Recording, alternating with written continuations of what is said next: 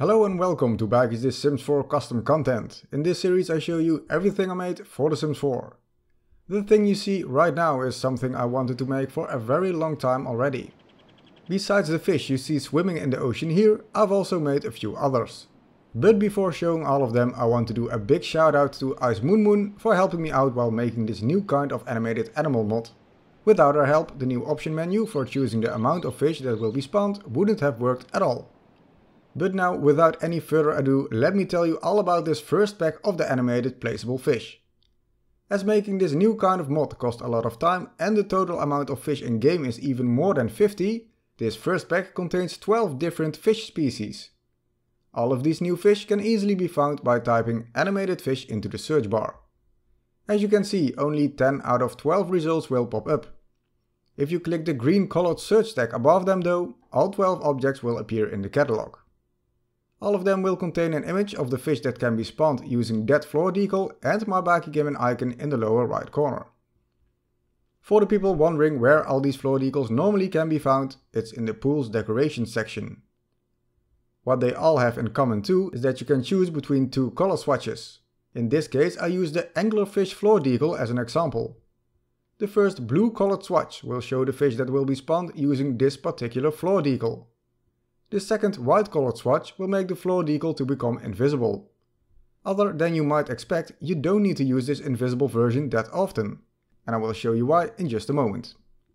First I would like you to show how to activate all different fish effects. By default, all floor decals will spawn 3 fish immediately after placement. In this case above the beach for better visibility. For the other options, go to live mode and hover your mouse over the floor decal so the interaction symbol will appear.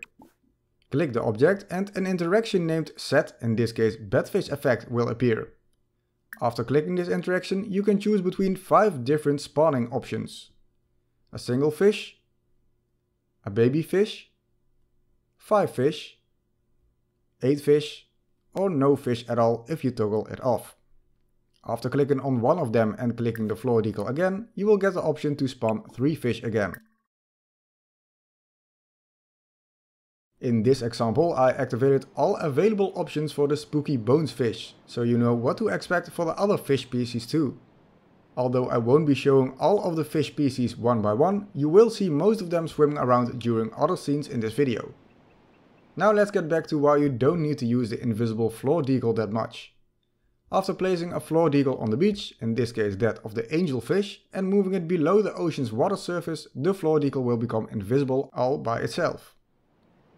After placement, you can still hover your mouse over it for the interaction symbol to appear to activate one of the options. For deleting or removing the object counts the same as with all other invisible objects. Press E to activate the clone tool and hover your mouse over the water surface until the object's name appears. Then press the H key to be able to grab and replace it, or the K key for the demolish tool so you can delete the object. When using these floor decals in pool aquariums, these objects work a bit different. First of all, after placing them in build mode, you can't use the option menu in live mode. This is because when trying to click on them, the game thinks you want your sim to swim to that particular spot. So as for pool aquariums, you need to use the option menu outside of the pool first, before placing them in. After you've done that, making the floor decals invisible is as easy as moving to above the water surface, so one level up, or watching them from behind the glass. So maybe you're wondering, when do I need to use the invisible objects then? Well, to make the fish itself better visible without distortion by the water, you can also choose to make an aquarium out of an empty room. In these cases, the object will act like all other objects. So moving a level up, like this, or looking from behind the glass won't make them to become invisible. As seeing all these floor decals laying on the ground or floating in mid-air looks quite strange, you can use the second color swatch to make them invisible. For switching to the visible version, replacing or removing them counts the same as what I explained for the objects placed in the ocean. Another thing you need to remember is that if you leave the lot or restart your game, the effects will reset to the default spawning option of 3 fish. The reason for me to set it back to 3 fish instead of just 1 is because multiple fish are much easier to find on your lot than just a single one. Especially if you've placed them in highly decorated oceans or aquariums. After finding them back, you can set the desired amount of fish again. You will also notice that when zooming out really far, the fish will disappear too. But don't worry, as moving back will make them to appear again. Use these fish to add more realism and more life to your aquariums and oceans. For both of these areas counts that adding my other animated animals like the jellyfish and sharks only make it look better.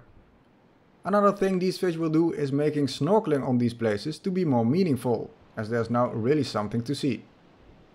To make this possible in your own oceans and aquariums, you can use my ocean buoy. For download links to all of these extra objects, take a look in the video description. As for the remaining fish in game, don't expect them to be released all in the upcoming weeks, as I want making mods to remain fun for myself. So a bit of variation in mods is better for me and possibly for the community too. Because of this mod pack, I haven't even had time to buy and discover the new magic pack yet.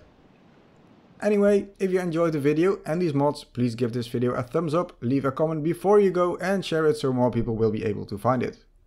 Download links can be found in the video description down below.